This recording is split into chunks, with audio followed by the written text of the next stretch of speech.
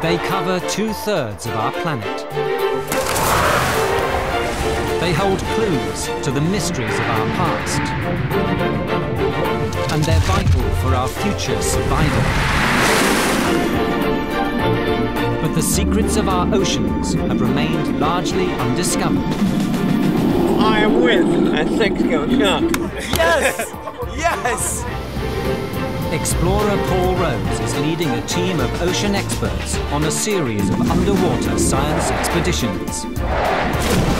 For a year, the team has voyaged across the world to build up a global picture of our seas. We are doing some pretty uncharted research here. That is psychedelically purple. We're here to try and understand the Earth's oceans and put them in a human scale.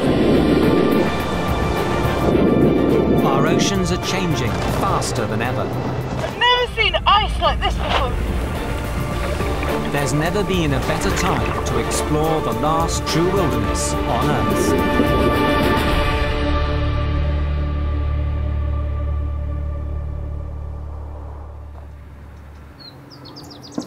Eritrea, East Africa.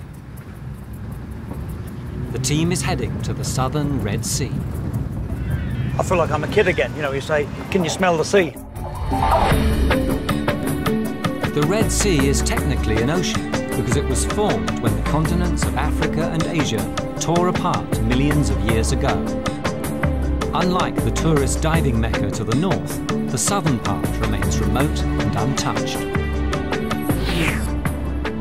By and large, this is unexplored. It's uncharted territory, particularly under the water. The southern Red Sea is one of the most important marine sites in the world.